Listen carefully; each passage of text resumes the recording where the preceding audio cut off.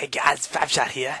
Hey guys, I just wanted to make a complaint video to Blizzard. Yeah, I know it's a QQ, but whatever. Um, this shit needs to be fixed immediately. And no, it's not about combat readiness and Cloak of Shadows being in the same cooldown, which is like fucking retarded in the first place. You're not even going to use combat readiness anymore, but and especially against feral druids, uh, you know, it's just like not going to be a fucking retarded ass. But whatever.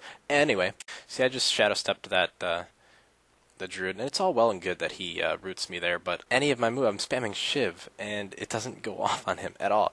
Like, I should immediately. I know there's latency issues, but Blizzard needs to do something um, to to compensate. I mean, yeah, I run a little bit faster, but if there's like instant roots or something like that, or or he's running faster or anything, um, and 90% of the time, even though I'm going fa- a slight bit faster, it really doesn't do anything, especially to people that jump.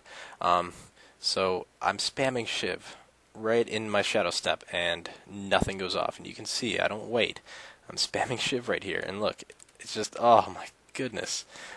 I really don't mean to complain, and it's not really, you know, my thing to complain, but I really, I really think Blizzard needs to do something about this. Um, it's, I, I mean, Warriors, you get to charge somebody and it stuns them for I don't know how long, maybe two seconds, one and a half seconds, I don't know. Um, Feral Druids, you get to, you know, kitty leap on somebody and it, you know, slows them down.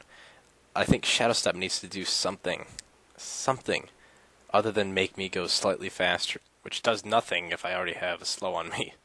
I'm sorry to say, but um, and it's not me being bad or anything. You can see me spamming Shiv right as I'm shadow stepping him, and it doesn't ever let me get one off at all. I'm out of range. So, thanks for watching this uh, QQ video, and stay tuned for more videos. Fiveshot out.